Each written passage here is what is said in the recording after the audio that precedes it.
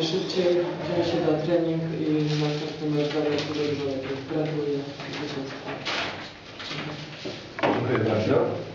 Teraz poprosimy o zabranie głosu kapitan zespołu z Białegostoku, Magdalena Gogos.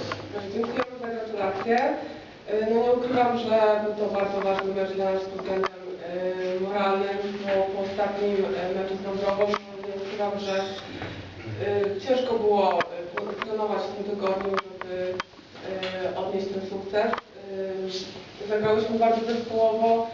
E, Praktycznie e, odwróciłyśmy e, przeciwnika od siatki, czemu mogliśmy zagrać dobrze blokiem.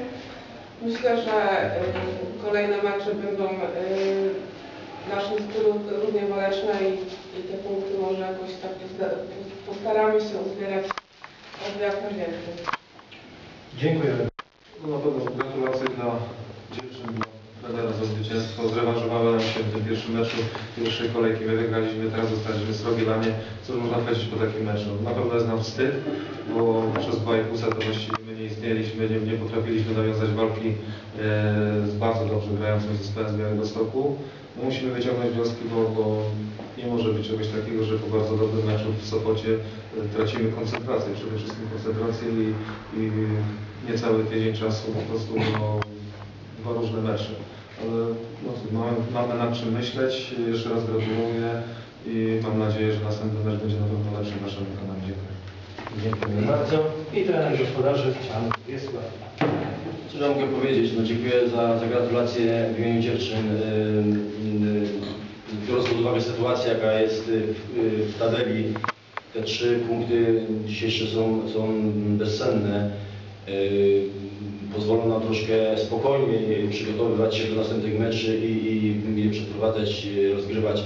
Także yy, te punkty, jeszcze raz powtarzam, no, walczyliśmy o te punkty, chcieliśmy yy, zrewanżować się za te nasze mm, niepowodzenie w organice w pierwszym meczu.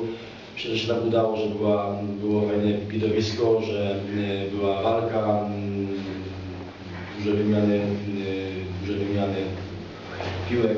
Także cóż można powiedzieć, no jeszcze raz cieszę się w imieniu zespołu i, i chcielibyśmy y, kontynuować tą, tą pasę takich zwycięstw y, znowu przez jakiś okres czasu, no bo ta papka ostatnio z Dąbrową to tak troszkę na nasze własne życzenie y, wyniknęła, graliśmy dobrą siatkówkę, a, a tutaj chwila nieuwagi i mecz zupełnie obrócił w inną stronę, no ale myślę, że weszliśmy na, z powrotem na właściwy tor i, i w tym kierunku będziemy pracować i, i te mecze y, rozgrywać. Dziękuję.